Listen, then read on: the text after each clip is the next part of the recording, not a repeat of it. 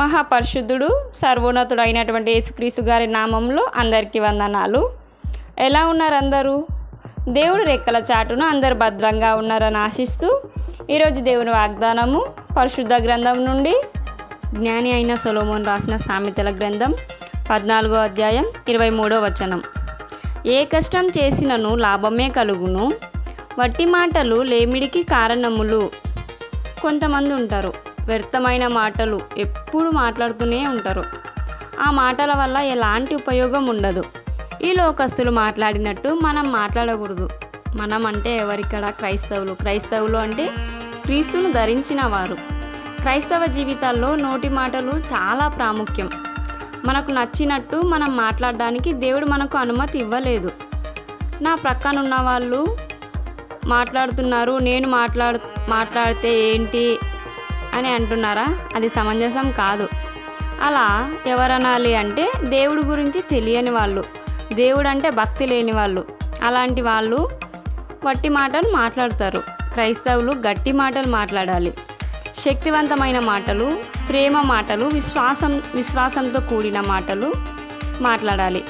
మన మాటల్లో కృప ఉండాలి. మన మాటల వల్ల ఎదుటివారికి స్వస్థత రావాలి. కొందరు ఉంటారు ఎదుటి వాళ్ళను హట్ చేసేలా వారి మనుషులను కోసేలా మాట్లాడుతూ ఉంటారు. అది క్రైస్తవుల లక్షణం కాదు. చిన్న ఎగ్జాంపుల్ చెప్పుకుందాం. కరోనా టైంలో అందరి లైఫ్లో ఇలా జరిగి ఉంటుంది.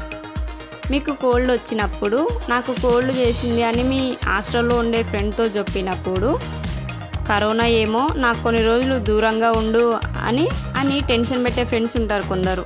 వీళ్ళు ఎవరు అంటే అన్యులు. ఇంకొందరు ఉంటారు కరోనా ఏమయ్యుండదులే ఉండదులే నార్మల్ కోల్డ్ అయి ఉంటుంది. ప్రికాషన్స్ ఫాలో అయితే ఏముంది? ఎలాంటిదైనా సెట్ అవుతుంది అని అంటారు.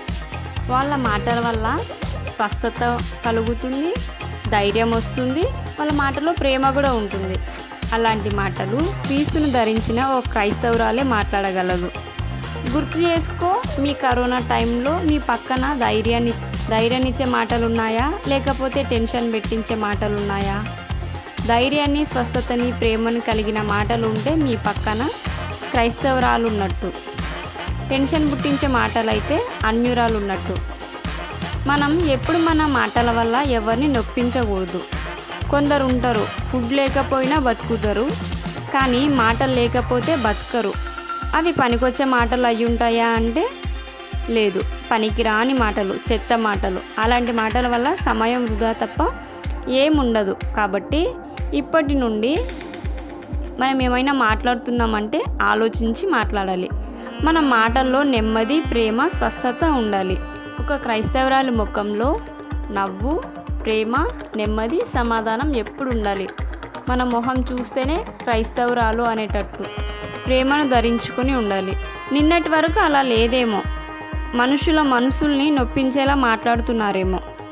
దేవుణ్ణి అడుగు నా నోటి మాటలో జాగ్రత్తగా చూసుకొని మాట్లాడుటకు నాకు సహాయం చేయి దేవా అని. నువ్వు సహాయం అడుగు ఆయన చెయ్యి చాచి రెడీ ఉన్నాడు నీకు సహాయం చేయడానికి. ప్రార్థన చేసి ఆయన సహాయాన్ని పొందుకుందాం. కళ్ళు మూసుకోండి ప్రార్థన. ప్రేమ నమ్మకం కలిగిన మా తండ్రి మీ శ్రేష్టమైన నామం నాకే వందనాలు. అవును మా దేవ ఏ బిడ్డలైతే వట్టి మాటలు బాధ కలిగే మాటలు మాకు తెలియకుండానే మాట్లాడుతున్నాము అని అనుకుంటున్నారో అటువంటి వారికి మీ సహాయాన్ని దయచేయమంటూ మా నోటి మాటలను కాచుకొని ఉండే బిడ్డలుగా మమ్మును దీవించమంటూ అనారోగ్యం నిరుద్యోగం అప్పులు సంతానం లేక ఎవరైతే ఉన్నారో వారి జీవితంలో మార్పు తీసుకొస్తున్న విధానమునకై మీకే కృతజ్ఞతాస్థుతులు తెలియజేసుకుంటూ ఈరోజు అంతటిలో మాకు తోడై ఉండుమంటూ యేసుక్రీస్తు గారి నామంలో అడుగుతున్నాం మా పరమ తండ్రి. ఆమె